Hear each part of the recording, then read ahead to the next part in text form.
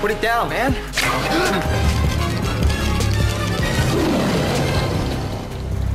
Guess I'll have the steak. Lately I've been drinking too much, drinking too much. And lately I've been smoking too much, too much. Like the stars are close enough to touch, to touch. I'm fucked up. Yo, yo! What is going on, people? You already know who you rocking with. The one, the only, number one motherfucking Stunna. And it's about time for me to get all up in your ear hole one more again. So sit back, relax, chill, catch a contact while I tell everybody welcome back. Man, I said welcome back.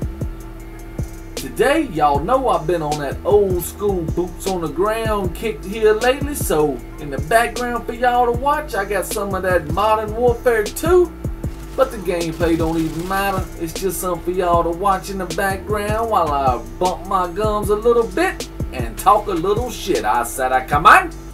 Now, first and foremost, man, let me just fucking apologize right now for the quality of this fucking commentary. Cause my Blue Snowball microphone fucked up on me, man. I don't know what's going on with it, but it keeps popping and crackling and carrying on, and I can't fix it.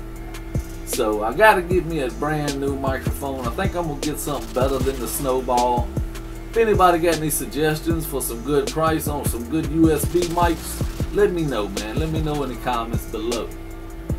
But hopefully, you know, I'm having to do this one with my gaming headset mic, and it just, to me, it just does not sound as good. The quality's all fucked up, and I can't stand it. So hopefully, it's just for this one fucking video, and then I get a new mic. So I apologize for that, y'all, for real, for real. And another thing, let me put this plug in too. This Friday night, man, at 7 o'clock Eastern, I am co-hosting another one of the Black Ops 3 free-for-all money tournaments. So if you got Black Ops 3 on PS4 and you want a chance at winning some money, come by my man Lost Souls Gaming stream at 7 p.m. His link is going to be in the description.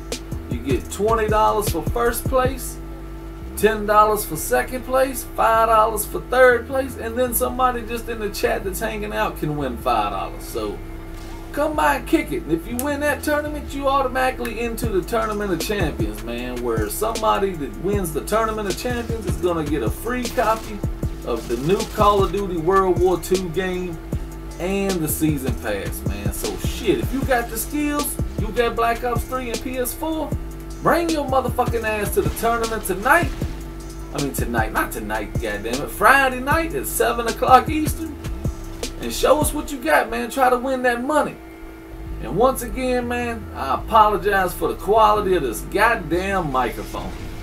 Now, with all that said, let's get down to the meat and potatoes of this video right here, baby. Western Australian lobster tails. That's right, people. You heard me right. Lobster tails, baby. As you know, my homie Blonde Bomber hooked me up. He done hooked me up with some steaks, some lobsters, some motherfucking bacon wrapped scallops, which is gonna be a future vid too. Plus, I think my man's getting ready to hook me up with some beef Wellington, and if he does that, I'll definitely make a video on that too.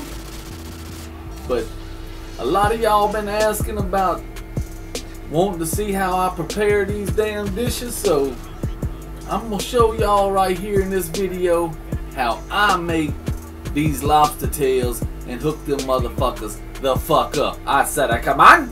Now, first, if you can, by all means, get them fresh. Get them fresh is the fresher the better. That's rule number one. But seeing how these are frozen, what you want to do is thaw them out. Don't put it in hot water. Put it in cold water and make sure it's completely 100% all the way thawed where the tail can actually bend over and touch the top just like this right here. Now, once you've done that and it's all flexible and bendable like that right there, that means it's all thawed out and is ready to go. So what you do is you take your scissors and slide it right underneath the shell right here. Be careful because you don't want to cut your meat up and all. But one thing too is get you some good damn scissors. These scissors we got, man, I swear we got to get us a good pair because these pieces of shits won't cut hot fucking butter. But make sure you cut right down the center of your shell because you're going to use that shell later on as presentation. And make sure you stop right at the end right there as it gets ready to fan out into like a what looks like a fan. You want to stop cutting right there. Now take it and peel your shell back real easy you know. It, it's tough now. It's hard to fucking do. So you don't want to darn tear your shell up though because like I said you're gonna use it for presentation you know that's where your meat's gonna sit at so open it on up real good, get it all pried apart, and make sure you just go ahead and peel your meat off the skin. I mean off the uh, shell. Make sure you peel it all the way back off the shell like this right here. Be careful because you don't want to pop it all the way out. If you do pop it all the way out, that's fine, but you want to leave just a little bit in the bottom to hold tight with, but peel it all the way back and get you a little bit of olive oil. All you need is a little bit. I'm sorry the camera didn't focus good on that, but pour you a little bit of olive oil on it. Make sure you rub it in all real good over the whole thing. Get it on the top, bottom, sides. Make sure you put, I mean, just a little bit of oil, but get it all over the whole damn lobster tail. That way she don't burn up in the damn oven and it's still good to go and take it. Once you get that done and get it rubbed in, what you want to do is pull it up above the shell and pinch the shell together and lay the meat on top of it, just like that right there. That's how you're going to present it. Look at them two lobster tails right there. Meat's laying right on top of the shell, so it's ready to cook. Now what I do is I take and put some Old Bay seafood seasoning. That's what you want to use right there. Use that Old Bay seasoning. Make sure you put a good little amount on it I don't you ain't got to be uh stingy with it because Old Bay is good. I mean, don't fucking drown it or nothing, but hook it up real nice and generously with that Old Bay seasoning. And then after you get all of that seasoned up and sitting up on top looking just good as hell. And look at them, look at the meat. That's some thick ass meat right there on them lobster tails. But once you get that done, she's ready to go in the oven. And what you want to do is bake them bad boys on 375. Put your temperature to 375 after you preheated your oven and all and let it get to 375 degrees. You want to cook it for one and a half minutes per ounce of the whole weight of the tail. So you know, like say you got an 8 ounce tail, it'd be like 12 minutes. 10 ounce, 15 minutes, and so on and so forth. You get the idea. But these right here was like 8 to 10 ounces, so I went on ahead and let them cook for a full 15 minutes. Come on. Now, you can add like different seasons and stuff depending on what you like. This right here is just a simple little quick recipe that you can do with these lobster tails to make them delicious as hell with as little as possible. So after they get done cooking for the full 15 minutes, make sure you don't overcook them now. You definitely do not want to overcook lobster, man, because it'll taste like fucking leather. We went to Red Lobster for my old lady's goddamn birthday, bro, and let me tell you, they brought me out a lobster that was done so goddamn much I thought I was chewing on a fucking Nike Air Jordan, bro. It was just straight leathery. I said, God damn, y'all's name is Lobster. You have Red Lobster in the fucking title and you don't know how to cook a fucking lobster? What kind of shit is that? For $117 is how much it costs to eat at Red Lobster for a fucked up lobster. So be careful and do not overcook it. Just keep your eyes on it. It don't take long. Lobster meat cooks pretty quick. Now, once it's cooked for the full 15 minutes, pull that bad boy out and look at the color on them suckers right there. Just look at how good they look already. And remember, this is nothing but oil and fucking Old Bay seasoning. But what you want to do now is cut your oven on broil. That's right, cut it on broil and load these motherfuckers down with butter. Put butter all on top of them. I mean, just don't be stingy with the butter because it's going to melt all down in that meat. So make sure you put it all over your damn lobster and cut your oven on broil and stick them back in the oven for three minutes. That's it, just three minutes on broil, and it's gonna melt and soak all that butter in right there on top of that lobster. Come on.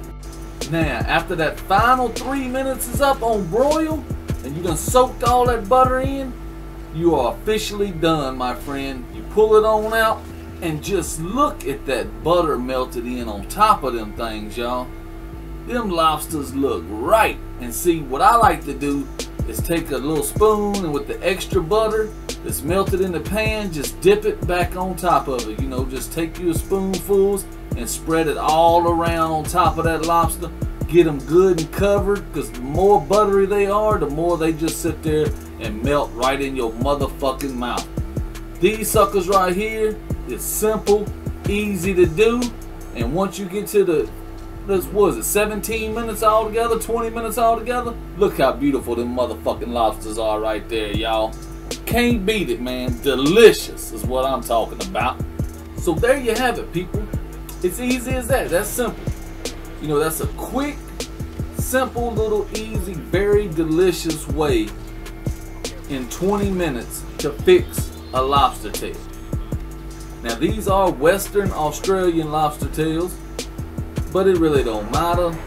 Lobster's delicious as long as you know how to cook it. If you can, get them fresh, man. Get them fresh.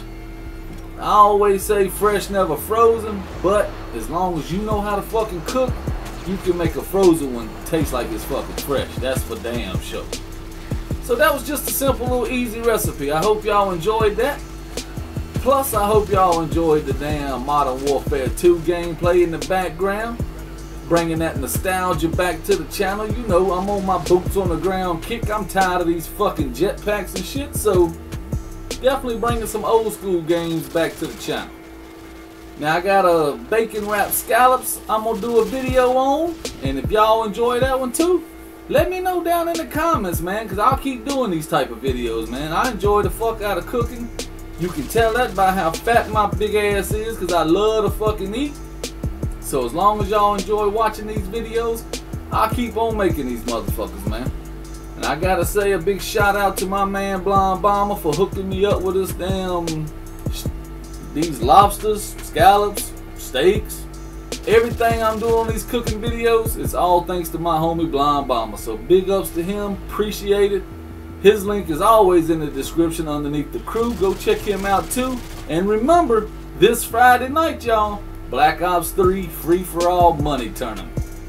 Alright people, hopefully if y'all enjoyed this video, you remember to rate, like, comment, subscribe, teabag, donkey punch, finger pop your asshole, tongue punch your fart box, titty slap the like button, or hell, pull your peck out and mushroom stamp that motherfucker for me one good time. I said it, come on. And for all you haters out there, you already know what you can do. Pull your finger out your ass, and leave a little brown stain on that dislike button because I don't give two fucks. Until next time, I am your boy, the number one Stunna, and people, I am out.